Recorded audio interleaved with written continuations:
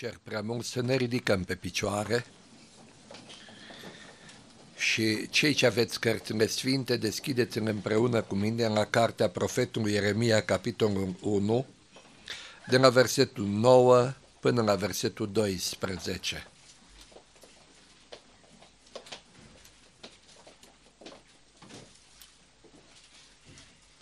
Apoi Domnul și-a întins mâna și mi-a atins gura. Și Domnul mi-a zis, iată pun cuvintele mele în gura ta. Iată astăzi te pun peste neamuri și peste împărății ca să zmurgi și să tai, să dărâmi și să nimicești, să zidești și să sădești. Cuvântul Domnului mi-a vorbit astfel, ce vezi, Eremio? Eu am răspuns, văd un vegător și Domnul mi-a zis, Bine ai văzut că eu veghez asupra cuvântului meu ca să-l împlinesc. Amin. Amin. Vă rog să reocupați locurile. Preiubiților, mă bucur în mod deosebit în această seară să fim împreună înaintea Domnului. Vă salut cu toată dragostea. Îi salut și pe cei ce ne urmăresc prin intermediul postului de televiziune și doresc fiecăruia în parte Domnul să ne dea binecuvântări deosebite. Amin. Primiți călduroasele salutări din partea bisericilor din România, celor 2856, din partea Bisericii Betania, unde slujesc Domnului, și cuvântul pe care l-am ales ca și cuvânt de salut pentru biserica din Zingen e cuvântul din 2 Corinteni, capitolul 13, versetul 11. Încolo, fraților, fiți sănătoși, desăvârșiți-vă, îmbărbătați-vă, fiți cu un cuget, trăiți în pace și Dumnezeu dragostei și a păcii va fi cu voi. Amin. Amin. E o bucurie oriunde ajung să văd frații adunându-se, să văd Biserica Domnului crescând de la o zi la alta și să înțelegem că în toate se urmărește voia lui Dumnezeu, cea sfântă, plăcută și desăvârșită. Cuvântul lui Dumnezeu a lucrat, lucrează și va lucra. Pentru că ori de câte ori vorbim de cuvântul lui Dumnezeu, vorbim de Domnul Isus Hristos. În Evanghelia după Ioan, în capitolul 1, ni se spune că la început era cuvântul, cuvântul era cu Dumnezeu și cuvântul era Dumnezeu. Și cuvântul s-a făcut trup și a locuit printre noi plin de har și de adevăr. Apoi, în întâia epistola lui Ioan, omul lui Dumnezeu, sub descoperire dumnezeiască, afirmă zicând, trei sunt care mărturisesc în cer, Tatăl, Cuvântul și Duhul Sfânt. Și aceștia trei una sunt în lucrarea lor. Cuvântul e numele ceresc ca Domnului Isus. Dacă noi aici pe pământ n-am știut ca Isus sau ca Isus Hristos, Isus era numele primit, nume care a fost destinat ca mântuitor, Hristos însemnează unsul, în cer tata îmi strigă cuvântul. Și îmi place că tocmai în cuvântul zice, cercetați scripturile pentru că socotiți că ne găsiți viață veșnică, dar tocmai ele vorbesc despre mine. Cuvântul e numele Domnului Isus Hristos și când Ieremia face prorocia, o face direct cu privire la Domnul Isus Hristos. Ieremia era din Anatot, era fiul profetului Hirchia, era un tânăr care a avut o viață curată și datorită vieții curate, pe care Ieremia a avut-o, Dumnezeu l-a chemat la o lucrare, o lucrare deosebită. El avea să fie un proroc deosebit. Întotdeauna când Dumnezeu vrea să se folosească în lucrări mari, caută pentru lucrări oameni cu statut mare. Nu totdeauna oamenii cu cea mai înaltă pregătire. Nu totdeauna oamenii cei mai deosebiți. Nu totdeauna oamenii pe care noi i-am așezat pe anumite trepte în societate, nu, ci întotdeauna Dumnezeu se uită la starea interioară și spirituală a omului. Și Dumnezeu în lucrări mari se folosește de oameni care trăiesc o viață mare de relație cu El, de neprihănire, de curăție. Și dați-mi voie să cred că Ieremia a fost unul din aceștia. Chiar în casa unui profet, în casa lui Hirchia, Dumnezeu l-a văzut pe Ieremia, acest preot, acest profet despre care unii spune că și profețea a știut să-și crească copiii ca și Isaia. Și Isaia avea doi fii, Maher Shalal și Shear Yashub. Și spune că m-am apropiat de prorociță și s-a născut și celor doi fii la fel a pus nume profetice și au fost și ei profeți. Și așa de frumos să vezi că din familii mari se ridică copii mari.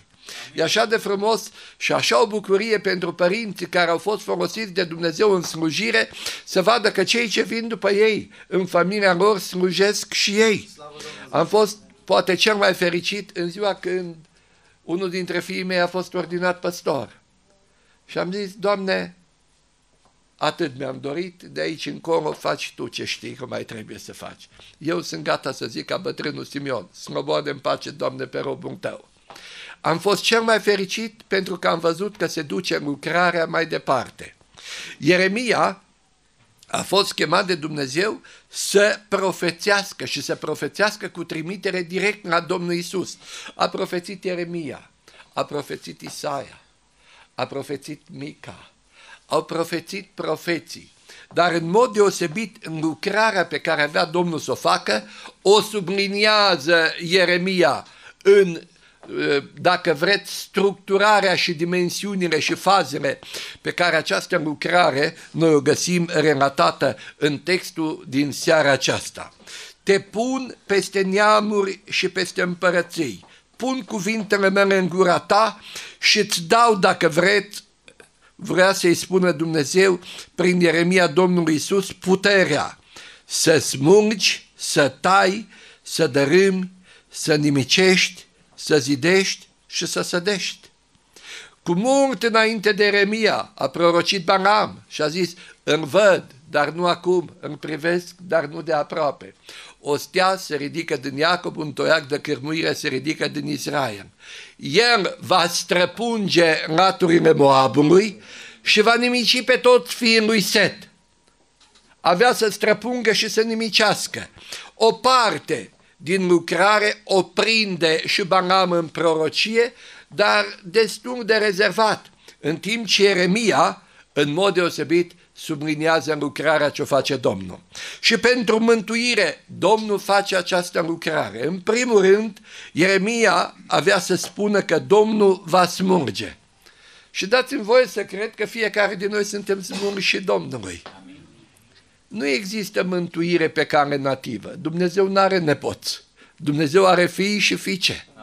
Eu nu sunt mântuit numai pentru că tata a fost mântuit. Eu trebuie să am o reală întâlnire cu Domnul Isus Hristos, trebuie să am un moment când mă proștern la crucea Domnului și îmi depun bagajul acolo, trebuie să am un moment când sângele iertător curge peste mine, îmi face curățirea și când în mod deosebit cuvântul împreună cu Duhul Sfânt, lucrează la nașterea din nou. Atunci se produce smurgerea din lumea păcatului și așezarea noastră în împărăția lui Dumnezeu. De aceea Iuda zice în versetul 23, căutați să-i mântuiți pe unii, smurgându-i ca din foc. Asta mie îmi spune că smurgerea se face cu efort, smurgerea se face cu risc, Zmungerea uneori se face cu durere, dar când e vorba să te pui la dispoziția lui Dumnezeu, când e vorba să te pui la dispoziția lui Hristos și a cuvântului și să mergi cu Evanghelia veșnică a Domnului Isus Hristos, nici durerea focului nu te oprește. Avem misionari. Dacă n-am știut până acum, vreau să vă spun că România are misionari trimiși în o mulțime de țări. Imediat după Revoluție am venit în Germania, la Kirchheim și în vremea aceea era fratele de Long, director pentru Europa de răsărit, era fratele Umonska, erau mai mulți aici și țin minte că la un moment dat m-au chemat și pe mine să spun ceva la microfon. Și a zis, acum vorbește reprezentantul uriașului care doarme. Ce vor să zic ăștia, uriașul care doarme? Și după ce am vorbit eu atunci s-au explicat și au spus că România este un uriaș, un coros mare, dar pentru misiune este adormită. Vreau să vă spun că uriașul s-a trezit.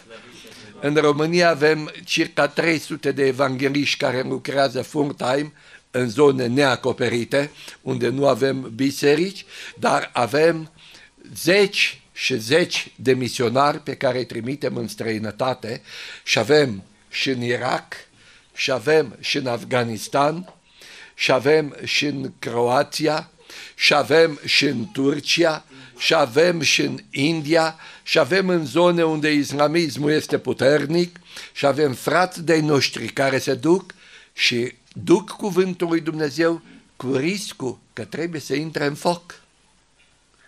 Cred că ați auzit cazul din Cecenia, în urmă cu câțiva ani de zile, țărișoara aceea mică pe care au călcat-o rușii în picioare, încă nu s-a trezit.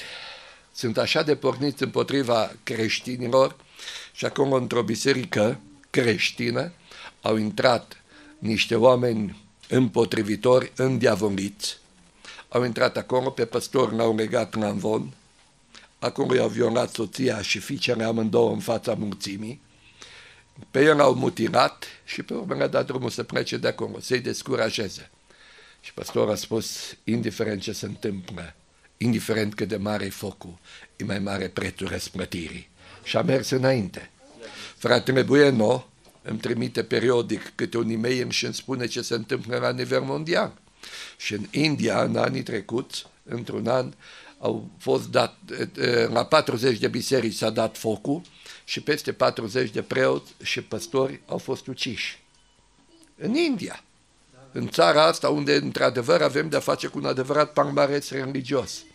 Dar cu toate acestea unii se duc și luptă și se pun la dispoziția lui Dumnezeu și fac totul smulgând ca din foc. Nu-i chiar simplu, Simi, să te bagi în foc. Cine nu s-a ars măcar o dată la un deget? Și îmi doare dacă se arde la un deget, dar dacă se arde toată mâna. Dar să iei foc. Și cu toate acestea, unii sar în foc ca să-i smungă pe alții. Aici sunteți mai mulți de la Timișoara. Trăia fratele Filip, diaconul de la Fratelia, și îmi spunea de o experiență avută în familie. Într-o dimineață de primăvară, când se topea zăpada, una fica sau nora, nu mai știu exact, fica lui, ă, a prins soba să încălzească micuța căsuță pe când se scoară copiii. Și s-a răsturnat recipientul cu acel combustibil lichid și deodată toată casa a fost în flăcări. Mama ce a făcut? Când a văzut copiii, avea trei mai mărișori, unul mic în cărucior, s-a aruncat la toți trei. Ce erau mai mărișori i-a luat odată în brață și a ieșit cu ei afară să-i salveze. Afară i-a lăsat acolo jos pe zăpadă, mai era încă zăpadă, dar și-a dus aminte că în cărucior e cel mic, acolo în mijlocul flăcărilor. Și credeți că a stat pe gânduri?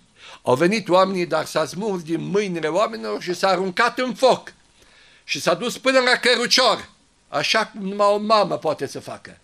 A luat copilul din cărucior, l-a acoperit cu hainele ei și îndoită în două a ieșit afară. Când a ajuns afară, ardea și spatele ei, focul era mare. Cum călca pe zăpada rece de scurță, carnea carbonizată de jos a rămas acolo.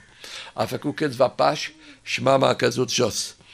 Au chemat să vină o mașină, să vină salvarea, să vină cineva. Copilul era atins și el de flăcări și biata mama a cerut să-i dea copilul să-l înrăpteze. Și în timp ce încerca să înrăpteze copilul cu suferința și cu arsurile acelea, a oftat odată adânc și a murit. Inima i-a cedat. Dar copilul trăiește și astăzi, pentru că o mamă a sărit în foc. Atâtea mame și atâția tați sunt gata să sară în foc pentru copii. Și a fost o zi când Iisus Hristos a sărit în foc pentru lume. Și zice psalmistul în psalmul 40 cu versetul 7, citându-mi pe el, Iată-mă că vin, în sumul cărții este scris despre mine, vreau să fac voia ta, Dumnezeule. Amin. Și voia lui Dumnezeu era mântuirea noastră. Amin. Și nu numai că noi suntem mântuiți, dar ne asociem împreună cu Domnul Isus Hristos, luptând pentru mântuirea altora, indiferent cât de mare e riscul. Am cunoscut o mamă care ani de zile n-a mâncat decât din seară în seară. Din seară în seară.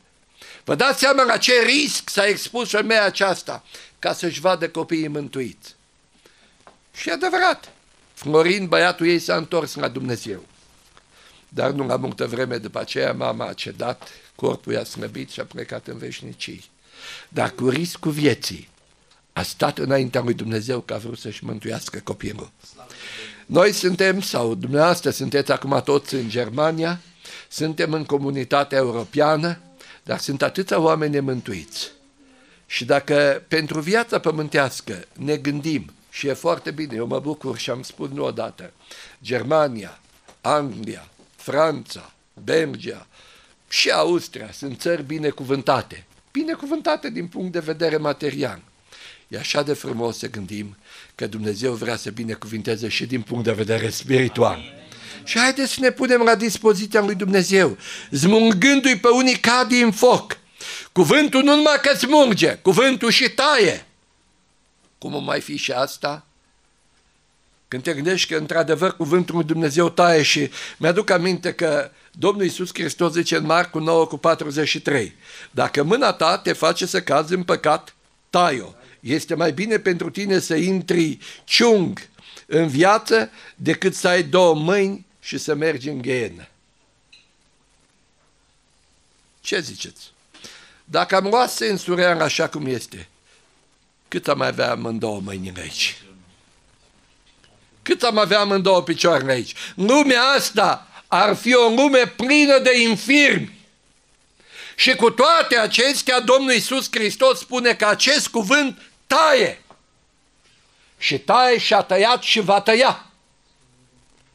Uneori cuvântul lui Dumnezeu îți taie dreptul la opoziție. Alteori cuvântul lui Dumnezeu îți taie dreptul la o situație materială. Cuvântul lui Dumnezeu îți poate tăia anumite situații din viața ta pe care tu le-ai dorit în mod deosebit și Dumnezeu zice nu. Predicam nu de mult despre Moise, căruia Domnul i-a tăiat dreptul să intre în țara făgăduință, făgăduințe și el s-a uitat la izraeliți și a zis, din cauza voastră Domnul nu m-a lăsat. Voi m-ați provocat, voi m-ați supărat, voi m-ați determinat să cârtesc, voi și încercați să pună vina pe popor. Dar Domnul i-a tăiat dreptul pentru că Moise, în loc să-L cinstească pe Dumnezeu, Moise s-a îndoit în fața poporului și în fața stâncii și în loc să vorbească stânca, stâncii a înlovit stânca. Vedeți, câteodată, prin felul nostru de viețuire și de trăire, lovim stânca. Și Apostolul Pavel zice în Corinteni că stânca care venea după ei era, era Hristos.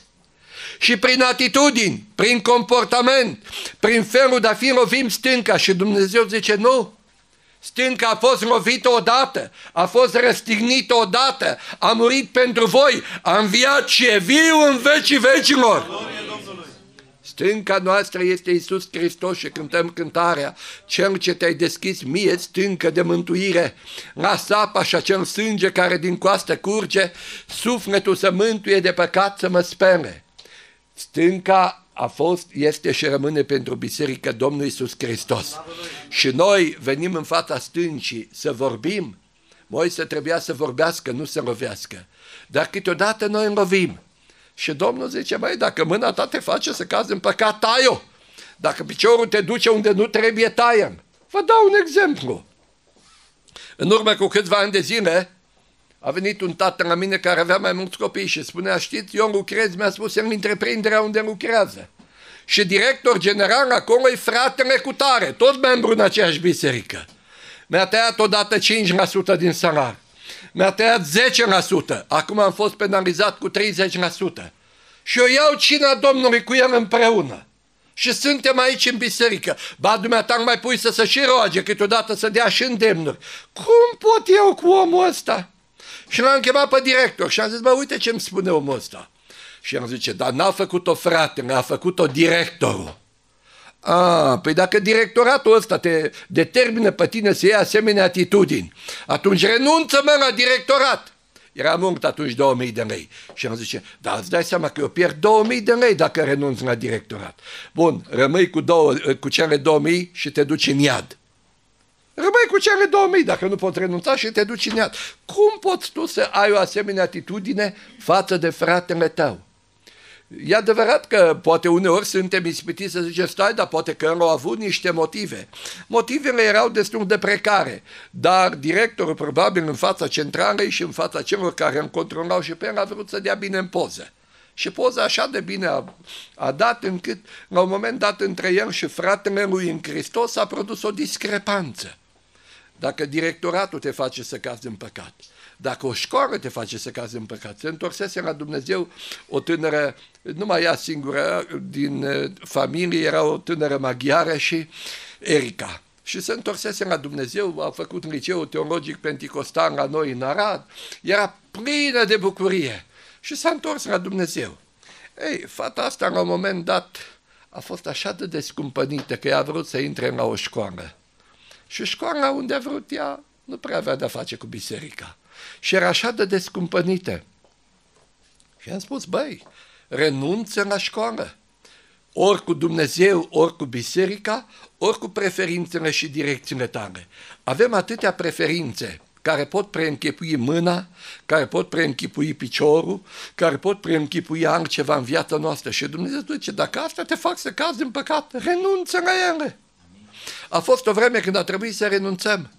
Eu mi-aduc aminte că pe Valea Crișului era un profesor de limba franceză și era atât de șocat că a trebuit să renunțe la profesorat, era înainte de 89, că el a trebuit să renunțe la profesorat pentru că au venit în control cei de la inspectoratul școlar și au cerut să țină o lecție de ateism. Și el, bineînțeles că n-a ținut-o, era diriginte la o clasă. Și pentru treaba asta au spus din două una, o renunț la carieră la profesorat, o renunț la biserică și a încercat să o scande, să le împace și pe una și pe alta, dar știi cum e, e o vorbă, zice, nu da rău nici de Dumnezeu, dar nici de diavolul, că nu știa cui fi până la urmă. Noi ăsta cam așa a fost. De niciunul nu a vrut să dea rău și la urmă s-au repădat amândoi de el, că după nu știu cât timp, cel ce a fost inspector acolo în control, i-a făcut un raport, a ajuns mai departe și a fost dat afară. Și acum se vedea cu mâinile luate de cap că el nu-i mai profesor dar și în fața bisericii a pozat rău. A căzut foarte rău și dintr-o barcă și din alta și când era gata să se nece, striga în disperare, uite, eu cu ce o să trăiesc, ce o să fac? Mi-au desăcut contractul de muncă cu litera E. Știți cei ce sunteți mai în vârstă ce însemna litera E înainte de 89.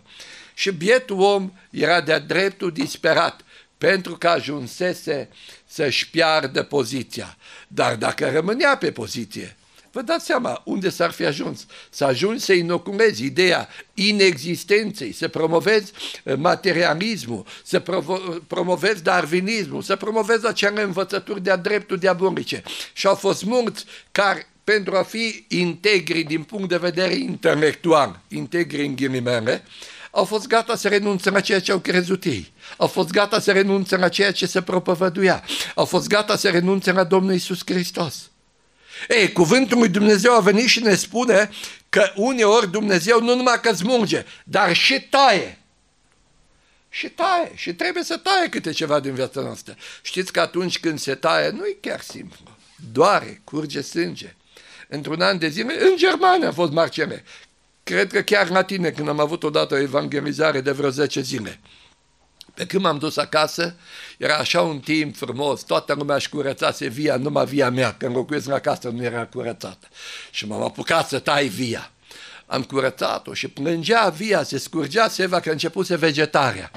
Și a venit un prieten la mine ce uh, este inginer în viticultură și am zis, băi, uite-te, cred că mi s-a dus via, uite, gata. Am tuns-o prea târziu, am tăiat-o, uite cum curge. Și am zis, fii serios, Chiar e recomandabil să o tai mai târziu. Păi de ce? Pentru că acolo se formează o peliculă sticloasă la tăietură dacă vegetează și nu lasă bacteriile să intre înăuntru. Ah, ce fain, mi-ai dat o idee. Acum știu de ce trebuie să plângă pocăiții și să taie Dumnezeu în ei.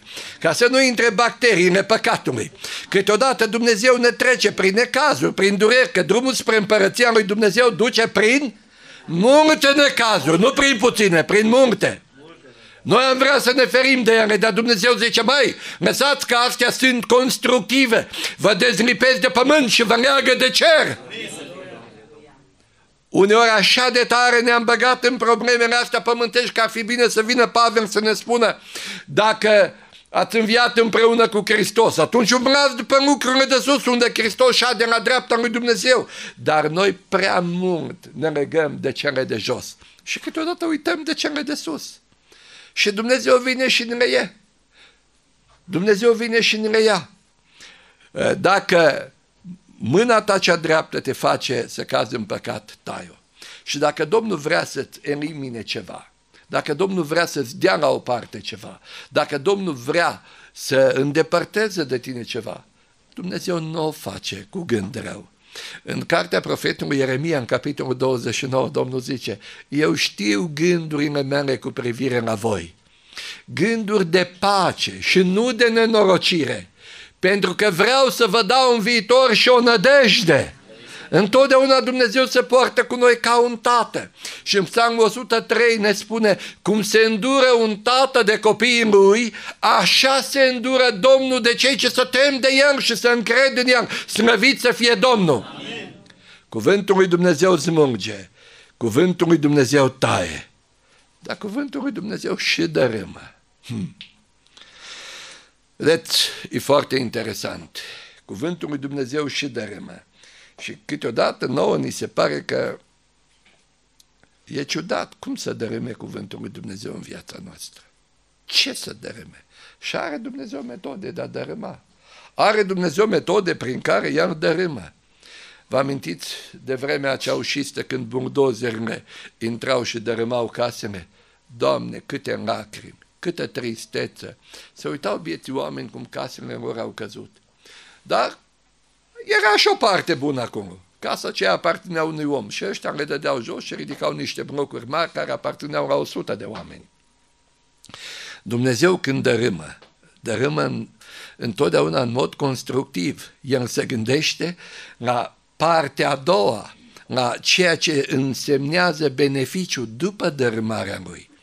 Câteodată ne uităm și zicem, mă, de ce dărâmă Domnul în situația asta? Dărâmă pentru că vrea să facă ceva mai bun. Rețineți ce vă spun. Niciodată Domnul nu dărâmă până nu are în planul lui ridicarea unei noi construcții. Domnul nu nimicește până când nu pregătește altceva acolo. Domnul nu face niciodată fără ca să aibă un plan sau un gând, un lucru. Cred că ați auzit în mod deosebit cântăreți. Am văzut că aveți cântăreți deosebiți aici și am fost încântat. Ați auzit de Charlotte Lyon. Fata asta a fost una dintre marile cântărețe deosebite. Cânta în vremea lui George Müller, citeam într-o revistă a fraților adventiști. Am înțeles că suntem într-o clădire a fraților adventiști aici. Și am citit într-o revistă a fraților adventiști că fata asta cânta extraordinar. Și predicatorul George Müller, tot un neamț și ăsta, s-a dus undeva într-o călătorie misionară și n-a apucat foamea, că și pe predicatorii apucă câteodată foamea, și a auzit ceva zgomot înăuntru, într-o locație și a intrat. Credea că acolo poate să mănânce ceva. Dar spre surprinderea lui, undeva pe un podium, cânta o femeie. Și cânta așa de frumos și zgomotul consta în aplauze și în adunațiile și tot ceea ce îi se aducea. Și George Müller și-a făcut un loc până lângă podium și a ascultat cum cântă. Și când femeia asta a încetat, ăsta a strigat. Doamnă, așa o voce n-am auzit în viața mea. Aveți o voce de înger. Probabil așa o voce voi mai auzi vreodată în cer. Și cui nu-i place când îmi auzi? De ce credeți că o zis David? Păzește, Doamne, pe robul tău de păcatul mândriei, să nu stăpânească peste mine, că de încercat atât îl încerca și pe el. O zi să nu stăpânească, că un pic și pe el îl cerceta. Că atunci voi fi fără prihană, nevinovat de păcate mari. Și când a auzit ea cum este apreciată și că e comparată cu îngerii, și-a făcut loc. Și a venit până la el și a zis, domnule, dar dumneata cine ești? Păi eu sunt predicatorul George Müller. Dar aș vrea să spun că așa o voce n-am întâlnit niciodată. Și vreau să spun ceva mai important. Cu vocea asta atât de mirifică, atât de încântătoare, mi-ar place să știu că încep să cânt pentru Dumnezeu. Deodată fața aceea plină de bucurie s-a întunecat și Dumnezeu? Cine e Dumnezeu? Eu la biserică am mers doar când eram copil. Dumnezeu.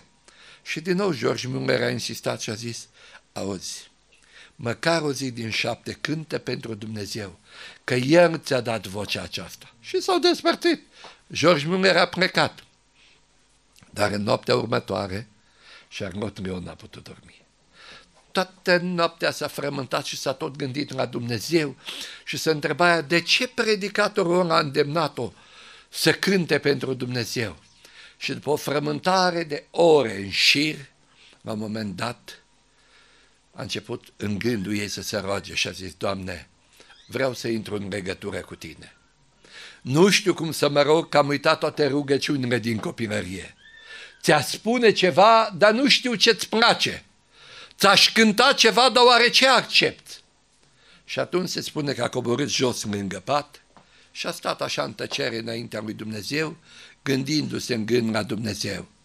Și deodată, prin descoperire dumnezeiască, a primit cântarea și o cântă și germanii, și românii, și americanii, și penticostanii, și baptiștii, și toate curtele. Așa cum sunt, la tine vin. Putere n-am, tu fi sprijin. Mă spang în sângele divin. O, mielule, eu vin, eu vin. Și ultima strofă, celelalte două se spune că au fost adăugate pe parcurs. Ultima strofă zice, așa cum sunt, tu mă primești. Păcatul nici nu mi-amintești. Crezând și eu mă mântuiesc. O, mielule, eu vin, eu vin. A fost ultima ei seară, seara aceea când a cântat pentru lume și din noaptea aceea a început să cânte pentru Dumnezeu. E adevărat că a mai trăit foarte puțin. O boală nemiloasă a secerat-o. Biblie, carte sfântă, îi aparține ei, o găsit în cărțile triumfului, apoi inima mea, inima mea. Se spune că atunci când era pe patul de boală, când era suferindă pentru că era foarte bogată, a vândut tot ce a avut, a dat la orfelinate, la cămine de bătrâni, la școli, la biserici și într-o zi când surorile erau lângă ea, a auzit-o că începe să murmure cântarea, așa cum sunt, la tine vin. Și a început din nou, așa cum sunt, la tine vin. Și a repetat și după ce a repetat de vreo cinci ori, a lăsat capul într-o parte și așa cum a fost, s-a dus să fie cu Domnul Isus. Domnul a dărâmat ceea ce oamenii au ridicat.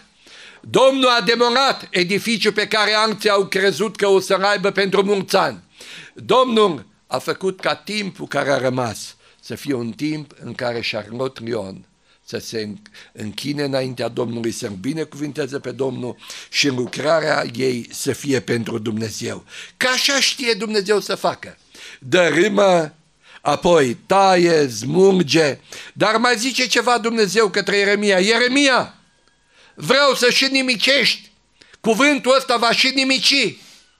Și Ieremia primește cuvântul convins, fiindcă acest cuvânt îl are din partea lui Dumnezeu pentru Fiul lui Dumnezeu și îl propagă, spunând că într-adevăr va nimici. Dumnezeu nimicește? Pe citim în Evanghelia după Ioan că Fiul lui Dumnezeu nu a venit să nimicească, ci să mântuiască. Și cu toate astea nimicește. Nimicește în lucrările satanice. Fiul lui Dumnezeu s-a arătat ca să nimicească în lucrările diavolului. 1 Ioan 3 cu 8. Și mă rog Domnului să nimicească tot ce-i satanic.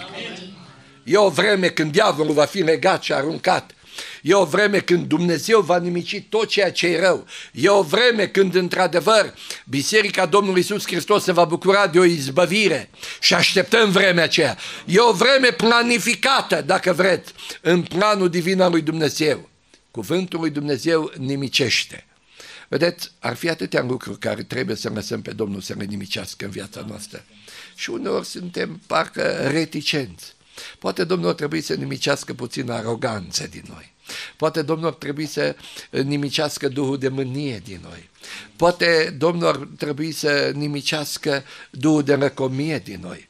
Poate Domnul ar trebui să nimicească dușmănia, puțină ură, nu chiar dușmănim noi ca alții, dar un pic tot e ceva acolo, că dacă îmi văd pe fratele Johnny că vine pe aici, o ies pe culoarul celălalt ca să nu dau mâna cu el. Asta nu de drag o fac când fac treaba asta.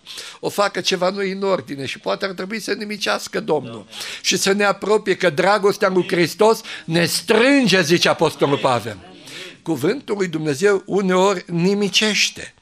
Vedeți, când noi am construit uh, acolo la Arad, acea clădire mare unde e și biserică, unde a fost și școala și tot, am dărâmat tot. Am dărâmat tot.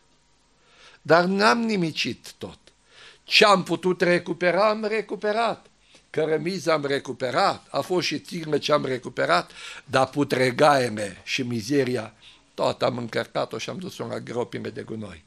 Să nu credeți că Domnul nimicește ce valoare noi dar putregaiele și mizeria Domnul nimicește. Dar sunt valori pe care Domnul le folosește în viața noastră. Apostolul Pavel a fost o valoare pe care Domnul a folosit-o și n-a nimicit-o. Era cel mai pregătit dintre toți apostolii. La picioarele lui Gamaliel, potențial mare preot de mai târziu. Și când s-a întors cu Domnul, ce a nimicit Domnul pregătirea? Da, da, unde imaginați-vă cum ar arăta Noul Testament fără epistolele lui Pavel, lui Pavel, lui Paul, cum zic nemții. Nu. Domnul n-a nimicit cultura lui Pavel. Domnul nu nimicește ceea ce e valoros în noi. Domnul nu nimicește darul de a cânta, nu a nimicit darul de a cânta lui Charlotte Lyon. Ea a putut să cânte, dar a cântat o cântare nouă și a cântat într-o formă nouă și a cântat pentru un Dumnezeu mare și minunat. Când Dumnezeu cheamă pe cineva, tot ce e valoros Domnul nu nimicește. Cazul fratelui Sinerosche. Pe fratele Sinerosche îmi cunoașteți, atâția ani am avut redactor șef la revista Cuvântul Adevărului. Fratele Sinerosche Domnul a chemat și într-adevăr ă, a pierdut slujba care a avut-o la Institutul de Cercetări, a pierdut foarte mult, dar pe el, ca sine rost, că Domnul a luat și l-a folosit în redacția Cuvântul Adevărului până la 83 de ani. A fost acolo, pentru că Dumnezeu vedea o valoare în el. Uneori Domnul nimicește, dar nu nimicește niciodată tot. Ce trebuie nimicit, Domnul nimicește. Mi-aduc aminte de un lucru simpatic, era după Revoluție și toți aveam mania să venim în Germania să ne ducem Mercedes-uri. Noi ne-am săturat de bătrânile dacii de România și duceam toate rabrele de Mercedes-uri. Mi-aduc aminte de un prieten de meu că a dus unul, zicea că tot îi mânca de șobolan Mercedes-ului. Tot era plin de găuri, dar era Mercedes, l-a dus. Și țin minte că unul dintre prietenii mei și-a adus un Mercedes frumos din Austria, 124 alb, impecabil. I-a făcut cadou socrii sau frate sau așa ceva. Și Mariana, soția lui, îmi spunea, auzi frate, de când a venit Mercedesul ăsta, a venit diavolul în casa noastră. Păi de ce? El nu mai are timp de mine, el nu mai are timp de fica noastră, el nu mai are timp de biserică, el cânta în corul bisericii, nu mai cântă nici în corul bisericii. Și să știi, frate, de pe ei, am început să postez să mă rog să facă Domnul ceva.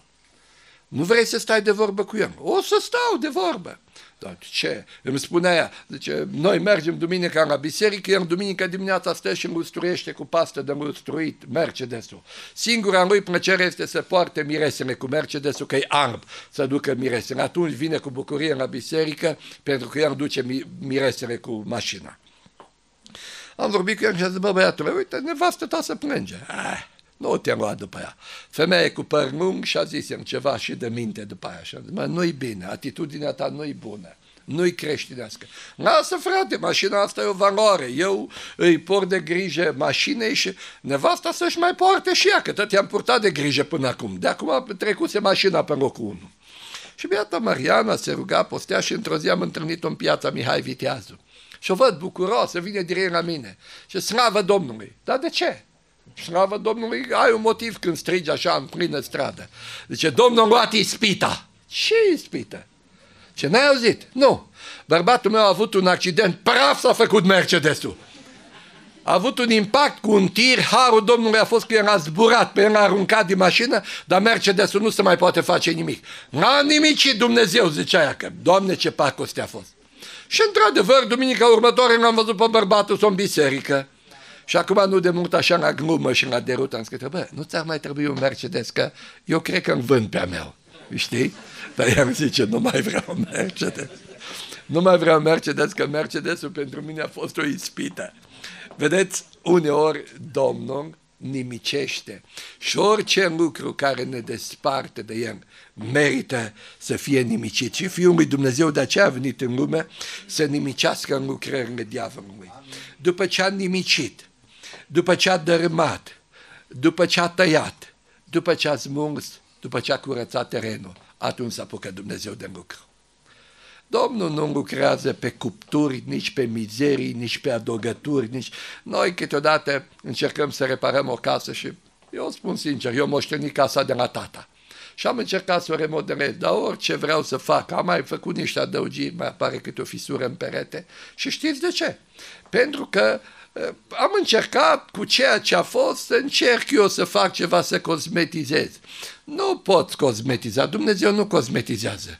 Nu cosmetizează. Eu am avut o mașină veche la început și niște prieteni de mei de la Timișoara au zis, dă-ne că ți-o facem noi ca nouă. Mi-au tras o vopsea neoruxanvă pe bătrâna mea Dacie, i-au pus niște huse noi și știți ce bine arăta. Eu ziceam că mașina mea e o babă de 90 de ani îmbrăcată mireasă. Dar să nu trebuiască să ieși cu ea din Arad, că nu eram sigur că poți să ieși cu ea din Arad. E, Dumnezeu nu îmbracă babele de 90 de ani mirese. Dinaintea lui Dumnezeu toate cele vechi se duc și Dumnezeu toate lucrurile le face noi. Și începe Dumnezeu să zidească. Și Pavel zice în 1 Corinteni, capitolul 3, cu versetul 10, că după harul lui Dumnezeu, care mi-a fost dat, eu ca un meșter zidar înțelept am pus temelia. Altul clădește deasupra, dar, după, dar fiecare să ia seama cum clădește. Și Dumnezeu este cel ce controlează lucrarea fiecăruia dintre noi. Dumnezeu începe să zidească. Pavel se vedea un lucrător împreună cu Dumnezeu. Noi suntem lucrători împreună cu Dumnezeu, indiferent de poziția în care lucrăm sau în care ne implicăm în lucrarea lui Dumnezeu. Dar dincolo de toate trebuie să știm că cel ce veghează și pe care Ieremia l-a văzut ca pe un vegheator, e tot acolo. Isaia zice, în anul mort împăratului Ozia l-am văzut, stătea pe scaunul lui de domnie, Pornele mantii lui umpleau templu, serafimii zburau și strigau, Sfânt, Sfânt, Sfânt e Domnul oștirilor! Și tot pământul e plin de mărirea lui. El este acolo. El se uită cum lucrăm. El se uită cum predicăm, El se uită cum cântăm, El se uită cum zidim, El se uită cum sădim, El se uită ceea ce facem noi și este în control, ține toate lucrurile prin cuvântul tăriei Lui. Mărit să fie numele Său! Era unul din copiii mei la școală și învățătoarea l-a întrebat, băi, și pe tine te duce taică tot la biserică? Și a zis, da, dar și pe tine te pun pocăiți acolo. Păi mă rog și eu cu ei. Da, și pe tine te pun să cânți. Și eu cânt cu ei. Și cum era înainte de 89, învățătoarea a continuat cu multe întrebări. Și el ca să pună capăt la toate situațiile a zis, tovarășa, să fie clar, la noi la biserică tata e șeful. Eu aș vrea să fie clar, să mă audă toți. La noi la pocăiți tata e șeful. De 2700 de ani l-a văzut Isaia pe tron și nimeni nu l-a dat la o parte de acolo. El controlează totul. El este cel ce urmărește zidirea. El este cel ce vrea fiecare să fim implicat în zidirea lui. El este cel ce într-o zi va răsplăti fiecăruia după lucrarea pe care o face. Domnul este pe scaunul pe care l-a văzut Isaia, așa cum spuneam atunci. Și Domnul este cel ce și sădește. Într-adevăr, în 1 Corinteni 3 cu 6, Pavel zice, eu am sădit, apoi l dat, dar Dumnezeu este cel ce face să crească. El prin noi sădește cu ploaia binecuvântării, prin cântare, prin cuvânt, prin rugăciune udă, dar puterea de germinare și creștere tot el o are. Nu e așa că vă e dragă cântarea în lângă apă, ca și pomul, salvatorul m-a sădit, voi trăi și îmi voi da rodul tot la timpul potrivit. Atunci când am acceptat lucrarea lui Dumnezeu și controlul lui Dumnezeu și am înțeles că într-adevăr Domnul zmunge, taie, dărâmă, nimicește, zidește și sădește, atunci suntem convinși că într-adevăr lucrarea noastră este pentru împăratul, că ceea ce facem este pentru împăratul, că împăratul nostru este Dumnezeu și că în toate împrejurările și situațiile vieții ne punem la dispoziția lui Dumnezeu. Câteodată Duhul lui Dumnezeu ne sensibilizează și poate nu vrem să acceptăm sensibilizarea. În Romani 8 cu 14, Apostolul Pavel zice că toți cei ce sunt conduși de Duhul lui Dumnezeu sunt fii lui Dumnezeu.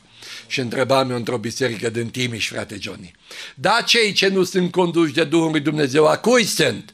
Și s-a făcut o liniște și un bătrân din spate zice, a dracului mă frate, ce mai întrebi? Na, acum a fost dură expresia acestui om, dar vă spun eu că e adevărată. Că nu sunt decât doi stăpâni. Dumnezeu și diavolul. Cei ce sunt conduși de Duhul lui Dumnezeu sunt fiii lui Dumnezeu.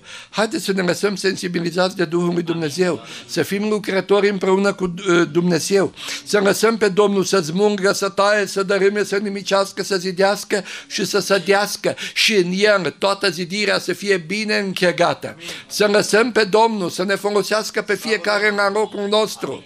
Spuneam odată, nu știu, în Germania sau unde am spus, în România știu că am mai spus că E foarte importantă acea călăuzire a Duhului Sfânt și sensibilitatea de a cunoaște ceea ce vrea Dumnezeu să facă. Era înainte de 89 și oamenii bogați erau cojocarii și oamenii bogați erau cei ce injectau mase plastice. Și unul dintr-un județ limitrof cu Aradul mi-a dat telefon, era un ucinic de ăsta pe ascuns a Domnului, eu numeam la fără frecvență îmi dă telefon și spune, știi, mama a murit, te rog să vii la mormântare. Era președintele cooperației, se ocupa și el de injectat mase plastice și am zis, gata, mă duc. M-am pregătit, mă spusem că vine o galerie întreagă de tovarăși la mormântare. Și m-am pregătit să mă duc să predic tovarășilor, că era o ocazie să le spun ceva. Când să plec din birou, nu erau telefoane mobile, sună telefonul fix și o voce stinsă. Anro, sunteți domnul pastor Tipei? Da, eu sunt Tibi, un băiat de 16 ani, 15 pe 16 ani, și îmi spune de patru zile n-am mâncat nimic. Frații mei mai mici de mai multe zile n-au mâncat nimic, stau aici în pat. O bătrână mi-a dat numărul dumneavoastră de telefon și mi-a spus că pocăiții ajută pe cei ce sunt în nevoi. Băi, dar unde sunt părinții tăi? Mama în spitalul de canceroși la Timișoara, iar tata ne-a părăsit de mai mulți ani. Eu trebuia să plec la mormântare. Am căutat în buzunar, am dat niște bani la unul din funcționarii de acolo și am zis, du-te pe strada sinagogii numărul 6, acolo găsești niște copii care n-au mâncat nimic, du ceva de mâncare, pentru că eu trebuie să plec. Și am plecat. Și pe drum m-am gândit la Iacov, care zice, credința fără fapte e moartă. M-am gândit că unii spun că epistola lui Iacov nu are ce căuta în Biblie, că ar trebui scoasă. Dar uite, aici deja mă, mă, mă provoca situația asta să-mi schimb predica și am schimbat-o. Și toată predica mea s-a raportat în Apocalips, capitolul 14, cu versetul 13, ferice de acum încolo de morții, care mor în Domnul, da, zice Duhul ei, se vor odihni de ostenările lor, pentru că faptele îi urmează și m-am luat de, de Apocalips cu faptele și de Iacov și am tras tare pe fapte și am dat și exemplul ăsta. Erau vreo 20 de slujitori, păstori, prezbiteri, diaconi, am predicat eu că am venit de la Finliană. Am predicat eu atunci și toată lumea m-a ascultat. S-a terminat slujba, a venit băiatul moarte și a zis, dacă se termină la cimitir, să veniți acasă că am tăiat doi porci și un vițean și dăm o masă când tăiau câte unul, câte un vițel înainte, erau pedepsele extraordinare înainte de 89. La tovare se putea, nu era problemă. Și i-a spus, bă, băiatule, eu din principiu nu mănânc la mormântări și doi mă și grăbesc. La gropă mă duc cu mașina și după aceea plec. Și m-am dus la gropă cu mașina, s-a terminat slujba. Când să merg să urc în mașină, văd un bătrân că se apropie de mine. Era, parcă îmi văd și acum, murdar, zdremțos, luceau hainele pe el. Aveau cujma albă, ziceai că tot e mâncată de șobolan sau de șoarici. Tăra un picior de pe el, era cu o cârjă. Se apropie de mine și când era câțiva metri, hai de mine ce miros avea. Și zice, domnule, te rog să mă duci cu mașina și pe mine acasă. Wow! Dar zic, cum din cât aici în cimitirul ăsta tocmai pe mine m-ai găsit? La mine mașina totdeauna e curată, mai port și oficialități uneori cu ea și asta e natura slujbei. Dar zice, știi, m-a dus unul și m-a lăsat aici. Te rog să mă duci cu mașina acasă. Primul gând a fost să-i spun, nu te duc. Dar a doilea gând m-a făcut să mă cercetez și am zis, dacă ăsta a fost acolo în curte și mi-a auzit predica. Și acum vrea să vadă dacă fac ce am predicat, că am tot pus accentul pe fapte. Am oftat odată și am zis, bine, hai că te duc. O venit, dar zice, ajută-mă să urc în mașină, că eu nu pot. Ce să vă ce să-l ajut când s-a apropiat de mine? Așa cu două degete am prins cârja, am aruncat-o cumva în spate. A pus în piciorul sănătos înăuntru, dar celălalt de lemn a trebuit să-mi ridic eu să-i impun. Vai de bine. Am pornit, am lăsat geamul jos de ce. Închide geamul că eu sufer cu curentul. Doamne, ce vrea să fie? N-am ce face, acum mă duc. Am intrat, când am intrat în localitate, îmi spune, iau pe prima la stânga. Am luat-o pe prima la stânga și, cum se zice, în Banat, deja am divulgat în ce județ Cum se zice în Banat, lipitura a început să se cadă după casa unde înlocuia el, nu mai avea nici gard la stradă, numai niște stâlpi. Și zice, oprește-te că aici locuiesc. Repede am lăsat ușile deschise pe partea mea, m-am dus, i-am dat cârja, l-am luat, m-am uitat pe bord că tot timpul făcea cumva din gât. Am zis, mă, numai să nu fi aruncat ceva pe aici. Făcea din gât o tusă, avea o tusă seacă. Și l-am dat jos de mașină. Și zic, să fii sănătos, de ce stai puțin. Zic, nu trebuie să-mi dai nimic, lasă, eu... Domnule, stai puțin. Domnule, ți-am spus că nu trebuie să-mi dai nimic. Nu mă vedeam scăpat de el să plec cât mai repede. Și omul începe să plângă. Și domnule, te rog să stai puțin, trebuie să-ți arăt ceva. Când am văzut că plânge, mi-a fost milă și am stat. Zice, în câteva minute înapoi. Tărând piciorul după el, ca soldatul de la Plevna a intrat înăuntru și după câteva minute vine cu un plic în mână. Zic, domnule, nu ți-am spus că nu trebuie să-mi dai nimic, nu iau niciun ban, lasă-mă să mă duc. Domnule, stai puțin să-ți spun, domnule, de ce nu mă las să spun? Hai, spune, ce vrei să spui? Vezi plicul ăsta? Aici toată averea mea de viață. Aici am 5.000 de lei, bani care i-am adunat pentru înmormântarea mea. Domnule, așa mai mișcat acolo acasă când ai spus de copiii ăia, că numai suriți ori trecut prin mine. Și eu vreau să-ți dau banii ăștia să-i duci acolo. M-am uitat la ea. Mi se părea că citesc o completare la Noul Testament. Au fost acolo cel puțin 20 de slujitori, nimeni nu a zis, frate Tipei, strada sinagogii, ce număr aia, că vrem să trecem și noi pe acolo. Sau să zic că ține 200 și de la mine și du acolo. Am schimbat imediat toată situația și am zis, tăticule, noi pocăiți avem un obicei. Noi punem niște bani deoparte, zicem că ia banii Domnului. Și mai am eu niște prieteni, știu că pus și ei și lasă că îngrijim noi. O zic, domnule, dacă nu iei banii ăștia să-i duci, până de seară Dumnezeu pe mine mă trăznește. Eu sunt așa de frământat, lasă-mă să iau doar 10 lei să am până săptămâna viitoare când îmi vine pensia și restul dui și dă la orfanii ăia. Vă rog să mă credeți, m-am uitat la el, nu-mi venea să cred. Din mulțimea aia mare, din atâția slujitori, oameni cu bani, oameni cu poziții, nimeni n-a fost sensibilizat. În viața nimănui nu a atins cuvântul lui Dumnezeu, pe niciunul nu a mișcat cuvântul și Duhul Sfânt, numai pe amăritul ăla de aceea vom avea surprize când vom ajunge în cer. Vom avea mari surprize. Vor fi surprize extraordinare că o să ne uităm să vedem oameni care am crezut noi că au niște dimensiuni extraordinare și nu o să-i vedem acolo. Și o să vedem amăriți pe care nu i-am luat în considerare și o să o întâlnim acolo. Și cea mai mare surpriză va fi cum am ajuns și noi acolo. Frații mei, Cuvântul Domnului i-a spus lui Ieremia, da, într-adevăr, ai văzut bine. Mi-ar place să cred că vedem bine, că avem o călăuzire bună și că lăsăm să facă Dumnezeu din viața noastră ceea ce îmi dorește. Nu știu dacă grupul cunoaște cântarea Doamne, viața mea ți-o dau, pe deplin eu mă predau, mă conduc pas cu pas, ziua, noaptea, în orice ceas. Nu o cunoașteți. Mi-ar place așa de mult mi-ar fi plăcut să o cântăm. E cântarea consacrării și îmi plac în mod deosebit cuvintele care zic ale mele mâinile ea să lucreze în via ta și picioarele la fel să turmeze ca un miel. Să ne ajute Domnul. Amin.